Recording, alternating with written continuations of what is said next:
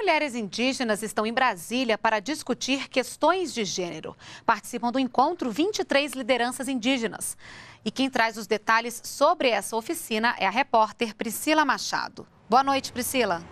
Boa noite, Renata. Esse encontro é realizado entre uma parceria entre a Secretaria de Políticas para as Mulheres e a FUNAI. Sobre o assunto, eu converso com a Rosângela Rigo, ela é diretora de articulação e ações temáticas da Secretaria de Políticas para as Mulheres. Por que, que essa questão de gênero também é importante ser discutida entre as mulheres indígenas?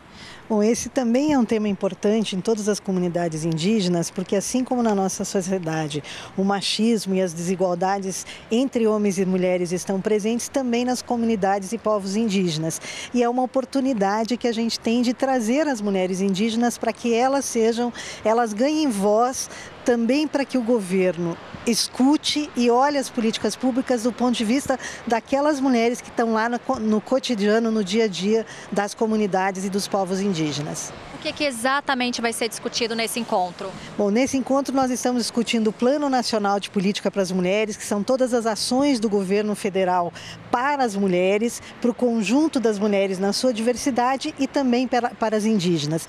Então a gente vai estar discutindo as questões de saúde voltada para as mulheres indígenas, as questões da autonomia econômica e como é que as comunidades indígenas estão inseridas nesses processos de construção e de desenvolvimento econômico sustentável, enfim, todas as ações e políticas que envolvem o Plano Nacional de Política para as Mulheres.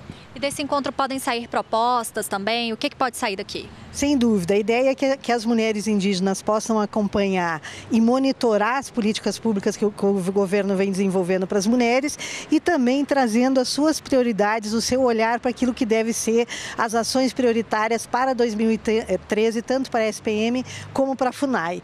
E mais do que isso, a gente também construiu um espaço de diálogo permanente com essas mulheres para a discussão das políticas públicas. Muito obrigada pela entrevista. Lembrando que a oficina Diálogo com Mulheres Indígenas vai até quinta-feira. Renata. Obrigada pelas informações, Priscila.